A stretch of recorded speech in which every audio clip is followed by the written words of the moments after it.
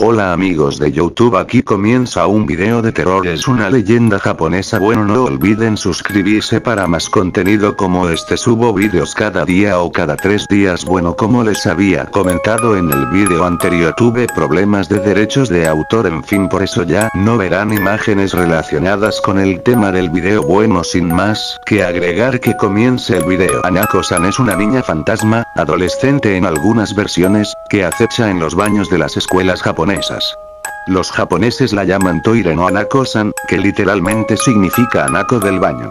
Ella tiene el pelo ligeramente corto, negro y lacio, y usa una falda roja y su mirada. Según cuentan, es capaz de helarle la sangre al más valiente.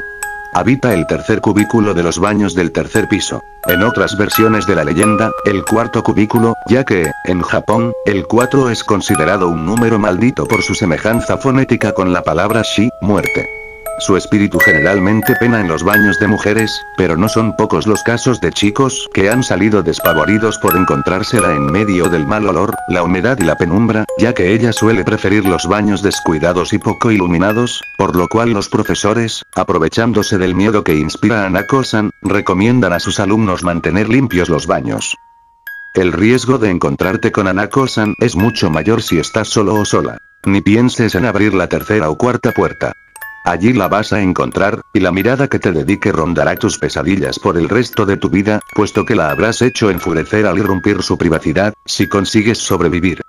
Por otra parte, cuentan que, si no abres la puerta 3 o 4, pero sientes una presencia en el baño, muy probablemente se trata de Anakosan. ¿Existe forma de averiguarlo? Por supuesto, provocándola, incitándola a manifestarse, para lo cual puedes tocar la puerta tres veces, llamarla por su nombre, o hacer la pregunta clave. Anako, ¿estás allí? No es seguro que te responda, aunque si lo hace, la mayoría de versiones cuentan que la con voz baja y calmada. Sí, estoy aquí.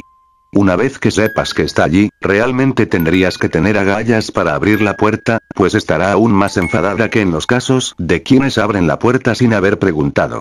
No obstante, si tienes un examen en el que hayas obtenido la máxima nota, puedes estar tranquilo, pues se dice que Nako-san se calma y desaparece, desvaneciéndose, cuando ve que eres un gran estudiante.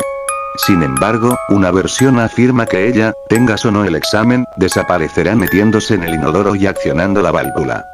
Ahora bien, hasta ahora solo se ha presentado la visión más extendida de la leyenda, ya que existen conocidas variaciones en las que Anako-san se manifiesta de formas sencillamente aterradoras. En la prefectura de Yamagata, cuentan que Anako-san no siempre responde con voz calmada. Puede responder con voz ronca, como de poseída por el diablo, y entonces, aunque no mueras, podría atacarte o asumir un aspecto tan monstruoso que necesites varias visitas al psicólogo. O bien, según otra creencia de Yamagata, es mejor que jamás abras la puerta, pues Anako no es una niña sino un demonio que emplea voz de niña para que los curiosos caigan y se queden helados al ver que en realidad se trata de un engendro con 3 metros de altura y tres asquerosas cabezas viscosas de lagarto. En cierta escuela de la ciudad de Kurosawajiri, cuentan que, si te metes al cuarto cubículo y dices tres veces, Ichiban me Anako-san, Niban me Anako-san, Samban me Anako-san, primera Anako, segunda Anako, tercera Anako, una mano blanquecina aparecerá por encima de la puerta del baño con su luz de ultratumba. En una escuela de la ciudad de Yokohama, los alumnos creen que, si vas al cuarto cubículo del baño de los chicos y le das vueltas al inodoro unas tres veces o más mientras insultas a Anako-san, una mano ensangrentada ascenderá desde el hueco del inodoro e intentará atraparte. Diferente a las anteriores versiones, en muchas escuelas de Japón existe la superstición de que, si te raspas la rodilla en el patio de la escuela, te podría salir el temido hongo anako, como una mancha blanquecina que de alguna u otra forma te transmite Anako-san desde su costra, quien está llena de ese tipo de hongo. Probablemente te preguntarás cuál es el origen de Anako-san y desde cuándo empezó a hablarse de ella. Esta chica fantasma ha estado en boca de los japoneses desde la década de los 80, cuando emergió como leyenda propia de la cultura popular urbana. No obstante, hay quienes dicen que ya en los años 50 se hablaba de Anako-san, aunque mucho menos. En cuanto a su origen, se han planteado las siguientes versiones. Durante la Segunda Guerra Mundial, Anako-san estaba jugando a las escondidas cuando ella y los demás alumnos fueron sorprendidos por una alarma de bombardeo. Ella se escondió en el baño y allí murió cuando las bombas enemigas lo volaron en pedazos. El padre de Anako-san era un sujeto abusivo, violento, pervertido y medio loco, que cierto día, enfurecido, la persiguió para matarla, dándole muerte en el baño donde ella se escondió. Anako-san murió en un accidente. Unas versiones, en Fukushima, dicen que se cayó por la ventana de la biblioteca de la escuela. Otras, más coherentes, que se cayó por la ventana del baño. Parecida a la del padre, una versión cuenta que la madre de Anako tenía problemas mentales y estaba perdiendo progresivamente la cordura, hasta que un día perdió la razón e intentó matar a su hija, dándole muerte en el baño, lugar en el que Anako se había escondido.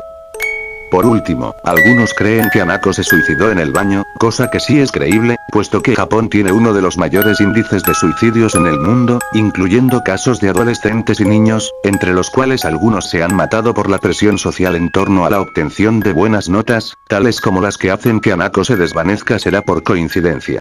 Bueno aquí termina un video más del canal. Suscríbanse para más contenido como este y no olviden dar like a los vídeos bueno nos vemos en un próximo video. Adiós.